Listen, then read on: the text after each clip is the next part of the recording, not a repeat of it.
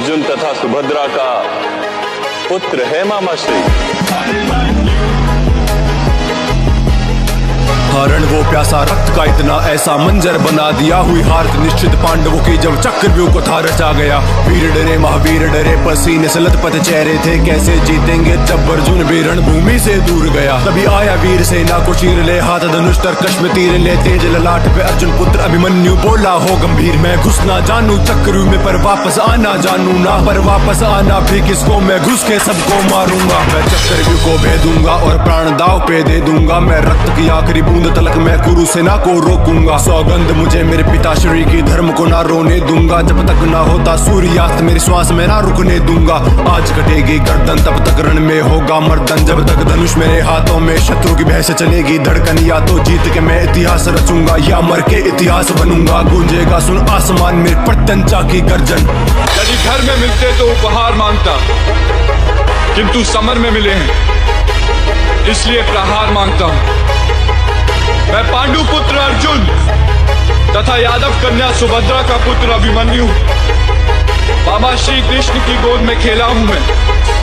और आज मृत्यु की गोद में खेलने के लिए इस रणभूमि में उपस्थित हूँ।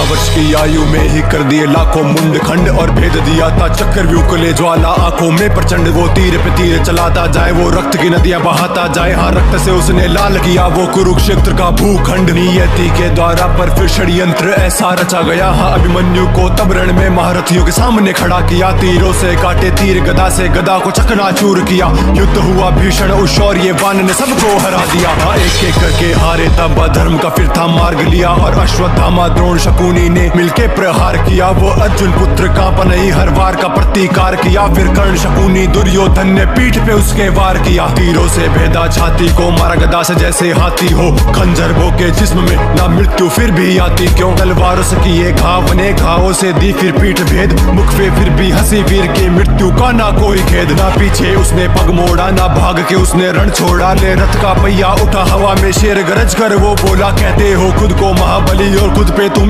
इतराते हो, फिर नपुंसकों की भांति लड़ने एक निहत्ते से आते हो। ये मृत्यु है, स्वीकार मुझे, पर धर्म को ना झुकने दूँगा। मेरे पिता के माथे पर मैं तिलक कभी हार का ना लगने दूँगा। वो सूर्यास्त तक लड़के निहत्ता वीर गति को प्राप्त हुआ। उस अभिमन्यु के आगे आज पूरा कुरुक्षेत्र था, झुका हुआ।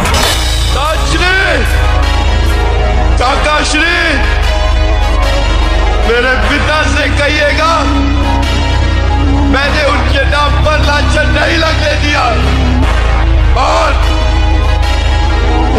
मेरी से कहिएगा कि मैं मरते समय भी पराजित